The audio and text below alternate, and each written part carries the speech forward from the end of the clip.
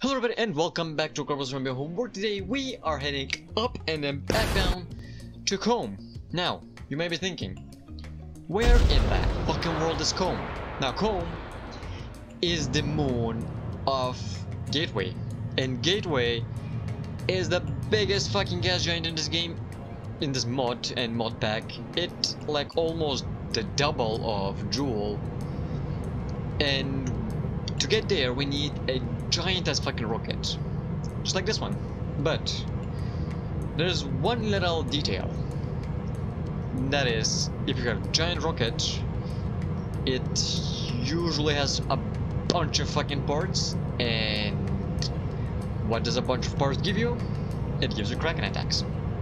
So this rocket was looking tasteful and succulent for Kraken and it really wanted to eat that rocket. But I didn't let him. That was a few takes, but you don't see them, so it may not be true. So I may be lying to you. Maybe this is my first try. It definitely isn't. But yeah. So while we are trying to orbit carefully, because yeah, Kraken attacks. If you love Kerbal Space Program, if you love space, or you just like having fun and escape from the real world, make sure to subscribe and hit the bell so don't miss anything. Now, there we go. I let that fairing go through me because that fairing was causing a lot of problems and I really didn't want it uh, to scrap off this mission even though it was a really pain in the ass mission and it took god forbid a long fucking time. I guess this was the longest mission that I've ever done, ever playing Kerbal Space Program. It's your, it's for your viewing pleasure and it's for my having fun pleasure. I mean, I like challenges. I, but after they get way too hard and they take way too long, I'm like being like, nah, just leave it, leave it. I don't care. So, still, we have a giant ass fairing we basically have one 5 meter part, I guess, and 6 uh 3.5 meters. I can't really remember. But hey look at this. Look at this. The space center is perfectly visible from space. Possibly mainly because it is the only thing that is buildings eh, complex like so Kerbal Space doesn't have cities. I really hope Kerbal Space 2 is gonna get cities because it, let's face it, the planets look kind of empty. And I hope the alien world's also gonna have some cities around scattered all over the place. I mean, bruh, look at the fucking space. No. Flight Simulator 2020. That game did an amazing job of making the entire world and every single fucking city together with every single fucked up building. They may not be alright. Somebody's gonna be in the comments being like, bruh, no, they have glitches. Say, shut the fuck up. Have you seen fucking Cyberpunk 2077? Yeah, well then, shut up. So, we have revealed what's in the fairing that I haven't revealed by now for, for now. Until now, Dero. I can speak English. But you already saw it from the title and thumbnail, so yeah. So, we say bye to Ruth and hey, Lua is also there. We're gonna say bye to Lua as well and say hi to Gateway. Beautiful planet, beautifully textured, beautiful everything. And we're gonna land on Khom with a space plane. Why say space plane? Because really just landing and then getting up from there is pretty fucking boring. I mean, yeah, kind of. Uh, but also, apparently Khom has oxygen, so those engines should work in there because they need oxygen to combust the fuel. So yeah, I hope it's gonna work. Spoiler alert, it did. Shut the fuck up. So, but there is a big ass problem here. Now, I had a big ass trouble making the correct orbit around this and landing on Khom without spending a few hundred stages of fuel. So what I did is did a bunch of maneuver nodes that will give me gravity assists and gain literally fucking nothing. Motorcycles, okay. It gave me a few si a few things, but yeah, a few bit, a little bit of energy, but then I just had to waste entire thing. I basically entered the gateway orbit from the wrong way around again, and that was a bad thing because mm, I couldn't really land on that thing. Also, when both the moon and the plane going together inside isn't good safe enough speed to land because, well, let's say that it's gonna get eh, mildly hot. Mildly, I mean, we're gonna see what it does later on. So, uh, my camera may or may not have been turned off, so I don't know about that. So, we fixed our um, orbit while I was rambling out everything and anything. And we are gonna come and slowly capture ourselves around Khom. And we did it already. So, I was trying to save fuel, but there is a whole stage with fuel. Mainly because that engine is crazy fucking efficient, so yeah. Uh, I have a lot of a lot more fuel, like really a lot. And hey, we didn't use it, so it just went to nowhere apparently. Just orbiting space, being useless to anything and anyone. Maybe someday you can go and see it and say hi, how are you doing? And he, probably that stage is gonna be like full, almost. But yeah, whatever. So here comes the descent. Now, what is that thing? It is a base. It is a science base which I put up into orbit so I can get down, get all the science, and then get it up, and then, uh, wait, research it up in orbit because really bringing the entire science base down and then up again is pain in the ass. Also, it looks really fucking ugly, and I really don't want to do that again. So yeah. Hey. That's what I was talking about when I said mildly hot. I mean, if you, if imagine you're in that space plane, you open the window, you stick your hand out, and you'll be like, "Oh, well, I'm dead because I was instantly fried, and the entire crew behind me is dead because they were also instantly fried." Oh well, that that was awkward. So, yeah. Life is good. Life is good. Life is beautiful. So yeah, we already went through the entry phase. Is we didn't re-enter, we entered. And look at those clouds. It's a ring around the equator, and they're moving faster than I do at those speeds I was moving, definitely moving above uh, Mach 1. Which, yeah, it differs from planet to planet and how dense is the thing, blah, blah, blah, whatever. But I'm pretty fucking sure that those clouds are moving at supersonic speeds. Now what that means, if Kerbal Space Program had wind, we would have a great deal of trouble because supersonic winds, bruh. What the fuck? Do we even fucking lift, bruh? Damn. So, I went I, I went the opposite way around because there was an ocean back there, which seemed kinda stupid at the time. I don't know why I did that. I, I just wasted a bunch of fuel. But later on you're gonna see that it was actually pretty fucking helpful. Eh, but why are you... Okay, no.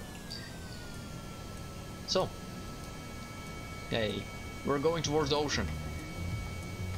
And we wasted uh, one third of our fuel all fucking ready. Well, that's not good, is it? We need that fuel to get up into orbit.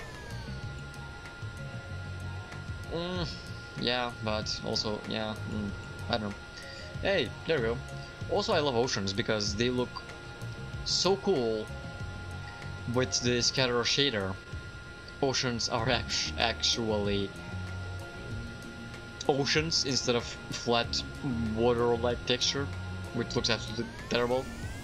But there is a there is a bug glitch. I don't know what the fuck. That in certain angle of the camera, it just keeps disappearing. Entire time, I was like, wait, wait, where, where am I? But yeah, so I hit my wing.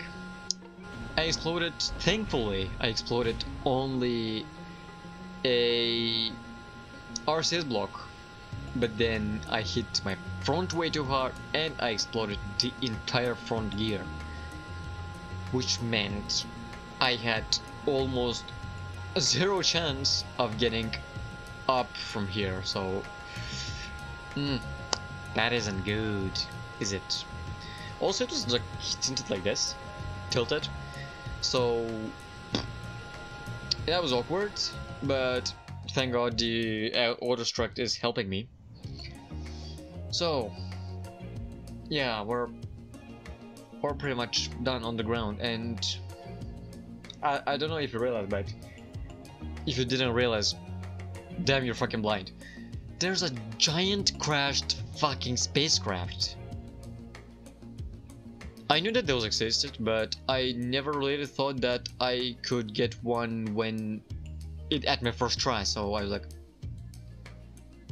bruh. That thing is giant. It actually is pretty fucking big, so yeah. So a few pictures, a few science. It took uh, quite a bit of time. Also, let's. I'm gonna mention that before I went to this phase, the game crashed a few times now. So yeah. My, also, my recording software was like all over the place, so it wanted kind of to record the desktop instead of the game. It was a pain in my asshole, and yeah, so that was pretty bad.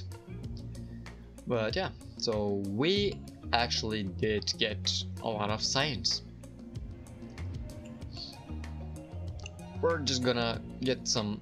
Also, yeah, I unequipped the... took off the helmet of the Kerbal and indeed they could breathe Indeed, this is a safe planet, moon, shut the fuck up, to land on. So now, everything was done, everything was alright, except the pa parachute repacks. Everything was good to go, unless, uh, until I had to take off again. So now, this is the part where everything got fucked up because yeah I my my recording software wasn't recording the sound properly and the game crashed again and again and again that took a, quite a long time but then I remembered I can go there's an ocean there I can take off from the ocean because the ocean is fairly flat. So I should have enough speed. I should have enough time to speed up. Also, look at Hey, it has all look at the look at the giant uh, crash ship. It also has an interior, so that's pretty cool. So yeah. What was I talking about again? Ford ship? Oh, I don't know. I, I, I figured that I could use the ocean to basically get up into orbit. But yeah, Also, do you think that it is safe to skid on your nose? Or the floor of your cockpit? On the ground? Yeah, well, me neither. But yeah, ocean. Uh, When I got in the ocean, I was like, oh, Scatter adds waves that are now interactable. Ooh, okay. Well, that's that's that's a trouble. But yeah, got some more signs from the ocean of Khom, which apparently is water, which is good. I mean, I don't know if it's salt or not. It really doesn't look salty. It looks very fucking clear. But yeah. Now look at the sunsets. Red fucking sunrise, sunsets and sunrises. That thing looks beautiful. Everything looks beautiful. Look at the sun sunrise. I mean, you can't really see it. It's like a pinkish reddish thing. Still, it looks good. It looks absolutely magnificent. But yeah. Hey, look at this. And look at Gateway in the background. I didn't realize the Gateway was like there. And it looks fucking massive. Obviously. So, now, what only left was get up, dock with the space base, and get back to Roth. Now, I've done this uh, uh, a few times, where I just dive under the water and then use the water to lift me up again, and jump over the water, full the thrust, maximize the thrust. With full thrust I could just leave off, so it worked again. Also, those engines are really fucking powerful that they got me way really up into space. It was really enough to bring me up and above the atmosphere. So yeah, that's good. But I really didn't have enough fuel to reach orbit, which I had to refuel again. With, not with oxidizer, but with a liquid fuel. I wasted that fuel going towards the ocean, so if I didn't waste that fuel going towards the ocean and I landed immediately, I wouldn't have to cheat. But that was my first time cheating and there's gonna be some more cheating in this video because god almighty I just don't like my ass getting fucked that much. It hurts man. That shit hurts. So, yeah. Rendezvousing, making maneuver notes, everything looks good, everything looks beautiful, everything looks